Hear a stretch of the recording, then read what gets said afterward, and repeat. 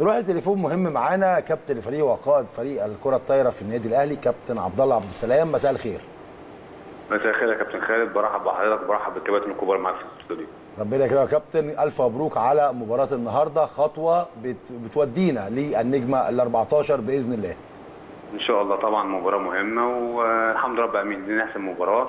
سيطرنا على اللقاء. آه اللعبة كلها مركزة طبعا إيد واحدة. عايزين نحقق الهدف إن شاء الله نوصل للبطولة الأفريقية ونكسبها. طبعا البطوله وسط جماهيرنا و... وعلى أرضنا فطبعا التركيز مطلوب ولازم الفرقه الأفريقية اللي بنلعبها بال...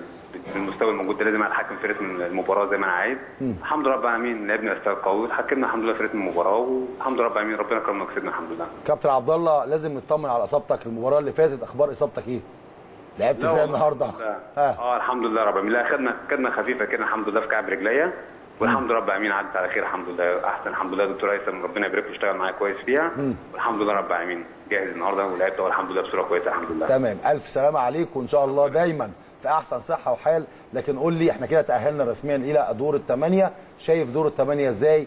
إن شاء الله بإذن الله الفرق اللي إحنا هنقدر نقابلها في دور الثمانيه إذا كان أساريا الليبي أو نيمو ستار أو الخدمات العامة الكيني طبعا آه، إحنا زي ما حضرتك عارف طبعا البطولات الأفريقية لازم تاخدها بالمجموعه مباراة مباراة. آه الحمد لله ربنا كرمنا خلاص بنتأهل لدور الثمانيه إن شاء الله رب العالمين السنة اللي جاية طبعا كل الفرق تتأهل دور الثمانيه أكيد فرقة تبقى كويسة.